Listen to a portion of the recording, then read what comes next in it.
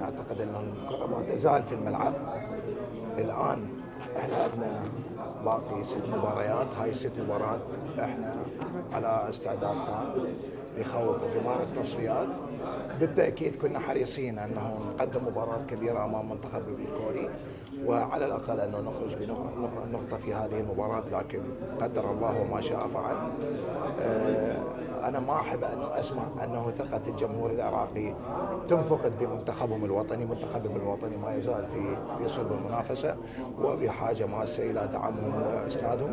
ويجب علينا الابتعاد عن كل ما يعكر صوف استعدادات صف آه، استعدادات منتخب لهذه المباريات المهمة، إحنا تنتظرنا مباراتين مهمه في الجولة القادمة آه، مباراة أمام المنتخب الأردني الشقيق ومباراة أيضا أمام منتخب العمان.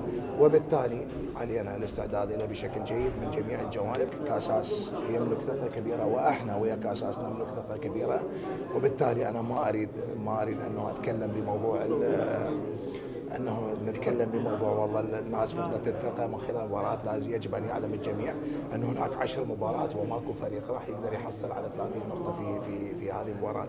لذلك سقف الطموح عالي صار بالنسبة لي لأبناء شعبنا ولجماهيرنا الرياضية.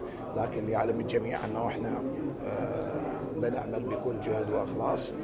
إحنا والكادر التدريبي واللاعبين من أجل أنه تأهل المنتخب إلى كاس